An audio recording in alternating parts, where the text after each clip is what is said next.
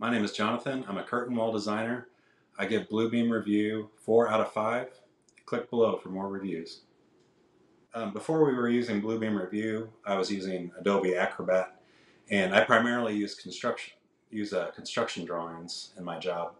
And Adobe Acrobat is very clunky for working with large format construction drawings.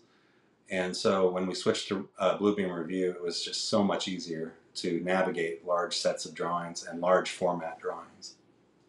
I chose Bluebeam Revu because I had read about it on uh, social media and, and uh, drafting forums, and um, it seemed like a lot of people were moving to that. And so I gave the trial version a try, and um, I was just blown away with how easy it was to use and um, how much quicker I could navigate my drawings. And so that's when we made the, the decision to buy it.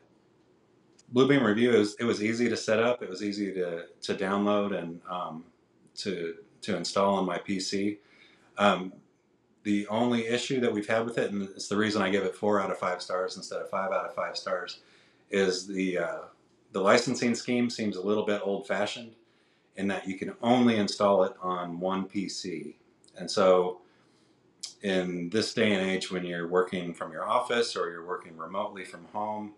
Um, they will make you purchase an extra license to to work from home unless you unless you go through deauthorizing your license while you're at work and then authorizing it again while you're at home. Um, but other than that, it's very easy to use. It's very easy to install and um, very easy to set up and customize. Yeah, the advice I, I would give to anyone else who's working with construction drawings is to definitely buy it. It's the it's the best in the field. Um, uh, you will not regret it. Um, it's easy to use, and um, it's going to make you more productive.